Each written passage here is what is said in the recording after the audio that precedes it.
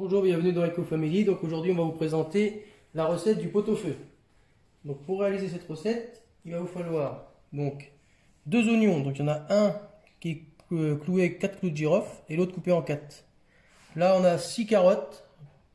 On a deux navets, donc un jaune et un blanc. Les verres de poireaux qu'on a ficelés pour euh, faire du goût au jus. Ici, on a une branche de céleri et le bouquet garni. Donc comme l'autre fois, j'ai mis euh, mes herbes dans les feuilles de poireaux et du coup ficelé comme ça et vous avez un bouquet garni. Là, il y a deux poireaux coupés en deux, mais qu'on les garde entiers parce que ça va cuire très longtemps. Pour les viandes, donc là on a euh, du plat de côte, donc j'ai 1,7 kg.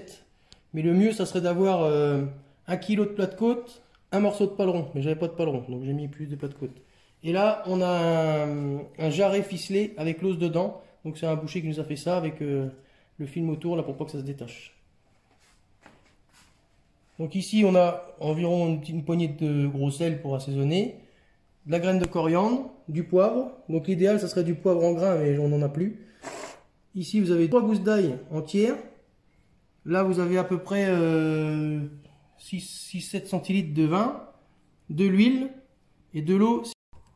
Donc dans un premier temps, on va marquer les viandes. Donc tout le monde ne le fait pas, moi je le fais. C'est pour avoir un bon jus qui va être euh, plus corsé. Donc là, vous faites bien chauffer votre huile. Et quand votre huile est chaude, on pourra saisir les viandes. Enfin, du moins le, plat de côte, parce que l'autre, il a le film le plat de côte dans le fond de la casserole. Donc là, on va marquer les viandes. Donc, mettez morceau par morceau, hein, pour faire un... Vous les slacker sur toutes les faces euh, pendant euh, jusqu'à qu'ils soient bien dorés. Donc voilà, donc les viandes sont bien marquées. Donc, comme ça, vous allez avoir les sucres qui vont être dans le fond. Vous retirez vos viandes et là vous ajoutez l'oignon coupé en quatre. bien le faire colorer.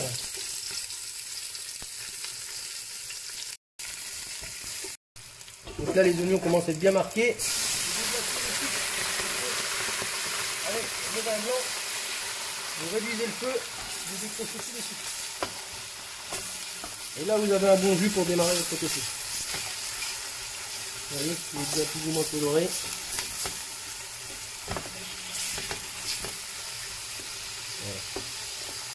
Donc hors du feu, voilà, vous délayez un petit peu votre fond avec de l'eau, de manière à récupérer tous les sucres de cuisson que l'on a fait.